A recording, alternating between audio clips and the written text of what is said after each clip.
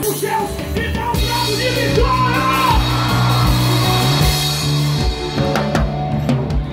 Chega um tempo em que Deus fala com o profeta Samuel. Samuel, até quando terás dor de Saul?